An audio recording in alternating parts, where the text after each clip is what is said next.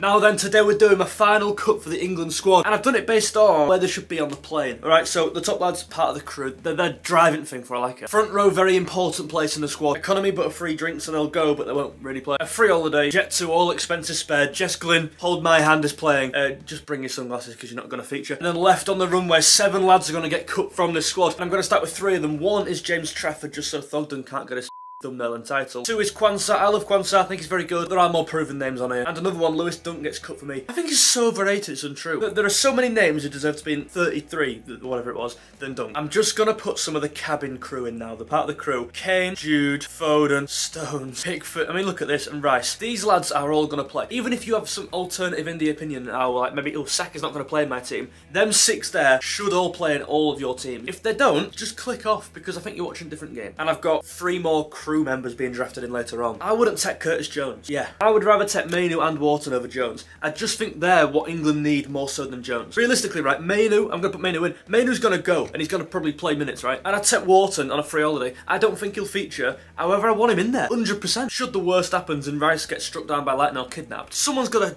old in that team, right? And I think Wharton is the closest you're going to get to a proper aggressive midfielder, tenacious. And I love doing these things on form. These players are fresh, they're ready to go. Jones ain't been recently. And Wharton has proper bastard midfielder. I love it. I'd take him, I really would. They new economy but free drink. Extra leg room, throw that on there as well, because he will play. Again, given no injuries to Pickford, them two are getting a free holiday. Another free holiday is Marc Guehi. I think he's very good. He goes, but I genuinely wouldn't play him for a minute. Right, a bit more flair here. These two both are in front row. I love these two, and I'm going to group them actually, because I'd start one of them, and I'm not sure which one. You've got to say Gordon the most unique in the squad, that pace getting behind, which is lacking this year. No Sterling, no Rashford. Arguably, therefore, better off the bench as an impact sub, you could say. Palmer, I think he's a better player. Depends how you want to set up both in front row. They've both got extra legroom, window seats. They're both going to come off the bench at some point. Also sitting on the window seats, uh, Gallagher. Gallagher is a tournament football player in there. And I think Jones is a better player than Gallagher. And I've got him two divisions below, but it's about what England need. Jones ain't going to come on and offer much, right? Trent's going to come on and offer something to, to change a game. Gallagher's going to come on to see a game out, in my opinion. The last 10 minutes, 15 minutes, he plays a knackered, maybe extra time. Bring Gallagher on, just sprint around, kissing the badge. That's exactly what I want in a team. And he's had a good season. I've slagged Gallagher off, but I like him as a bloke, and he's had a good season. He's got to go, and for me, he's getting a free drink in that economy. Another window seat been sold to that man there, Trippier. Versatile, can play off left or right.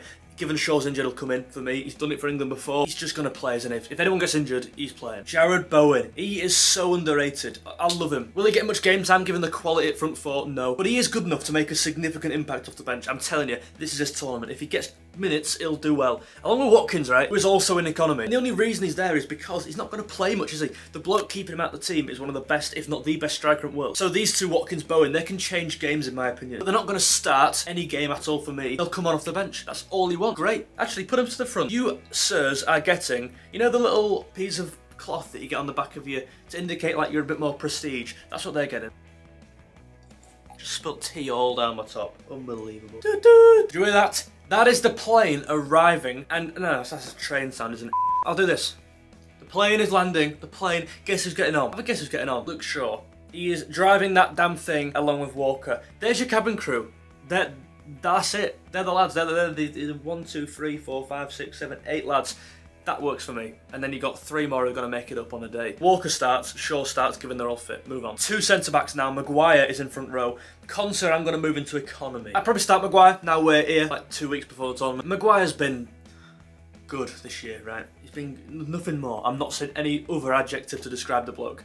He has been good given how shit Man United are and also given how inconsistent the back four is. He's kind of in and out, you know what I mean? I didn't want Maguire playing. My whole argument was he wasn't playing for his club it's the highest merit England, right? You've got to be playing for your club to play for your nation, and he wasn't, but he is now. So front row, just he's kind of sat aisle seat front row, so not the best. You're gonna get people brushing past. He's not a comfy ride, but he'll play. He, he will play. And the other one's Konsa. I really like this guy. He's strong. He's good on the ball. He can read the game well, in my opinion. Played a massive part in Villa's success this year. He's got to go. Firstly, some people haven't included him. I'd even say he's our first defensive sub you want to see a game out, of bring Konsa on. Right, okay, you've been waiting for this. I'm going to put the three lads I'm cutting out. And ultimately, I don't really care. I genuinely don't care. I'm just going to do it. One, two, three. Some people have clicked off, right? I think Grealish, when he is on it, he's very good. Like, he's almost world class. When, when he's on it, he's not been on it. Do you know what I mean? I've dropped Jones because he's had a poor season back end. I'm dropping Grealish because he's had a poor season. I've also dropped Maddison because, I don't know, I, I'm, I'm just going to put this guy in here now. I'm off vibes. And I think given neither of them were going to play anyway, I think Eze offers more. I think Eze's a curveball than Maddison. And again, it's not worth losing sleep over people. They're not going to play. And I've also dropped Toney because I don't think we need three strikers. Go back and have a look at third choice strikers for England. I've not looked, but I'm guessing they weren't a bloody feature, right? He will play about 24 minutes if he goes. Might play the third group game if we get through. That is it. So Toney's there for me. And there's your seven. I think if you said at the start of the season you'd be bringing Maddison and Grealish, but you'd be dropping them. Bit unpopular. If you want to swap Maddison as I do it, I'm not really bothered. Branthwaite and Gomez both go for me. Branthwaite part of an excellent, solid trio this year, been superb. And even individually, been one of the best centre-halves in, in league. And Gomez as well gets a free inclusive holiday. Be like Gallagher, right? They're very good tournament players, right? Gomez is so versatile. Centre-half, left-back, right-back. Been playing most games for Liverpool this year. Also, people are going to say Liverpool bias. I've dropped Quansah out and I've dropped, I've dropped Jones out. And I don't think many people will have dropped Jones out. So no bias here, I'm just, this is what I think. I wouldn't start Gomez, not even nearly start him, but he's good cover. He can play across back three. Speaking of Liverpool, Trent, Trent's in, I think he's in front row. I really do think he's in front row. You know what as well, I'm going to move Watkins up because I think them there, if it ain't working, if we're down, you're bringing on Trent, you're bringing on Watkins, and you're bringing on one of Gordon or Palmer to change that game, aren't you? So they're your three impact subs right there. And I know you've all been waiting, where you're going to put Saka. I think Saka's going to get a free holiday, right? Because the thing is with Saka, right, he's so good, but he does. He likes to limp, doesn't he? So he doesn't really. Um, he's not really going to feed. I've probably got someone there anyway. Saka's obviously part of the crew. So there's one, two, three, four, five, six, seven, eight, nine in the crew. Then you're starting two from the front row. So you're starting Maguire. You're starting maybe Palmer. And then there's your three impact subs. That is how this this this video is great. I don't, know why they've duplicated stones here. I've even gone to trouble of drawing up my squad for you, and I can't see it, so I'm having to move it a bit closer. Look at the defence, right? So you've got five players who could play right back, three at left back, and five centre halves. That's good enough. That is, if anything, that's too good. Maybe bring in an extra centre half there, we don't need one. Into your midfield, ignore the Trent starting bit, just placeholder for now. You've got five lads there who can all run. And I do worry if Rice goes down, who's going to fill in. I think Wharton's that most suited player to do that.